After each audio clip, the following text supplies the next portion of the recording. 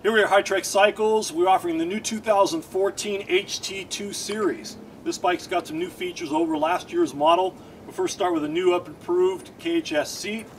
Uh, one of the newest features is the actual larger disc brakes. These are the Tektro Dorado 203 millimeter rotor discs. We have the FireX crankset. We also come with the onboard uh, version 2.3 computer. Also comes with the SRAM X9 aluminum shifters. Also the SRAM X9 front and rear derailleur, more beefier frame, and the RockShox Recon Gold front shock is standard issue now on the HT2.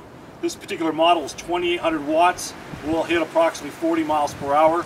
This is a great buy. Come down to Hi Trek Cycles, check one out for yourself. Hope to see you soon.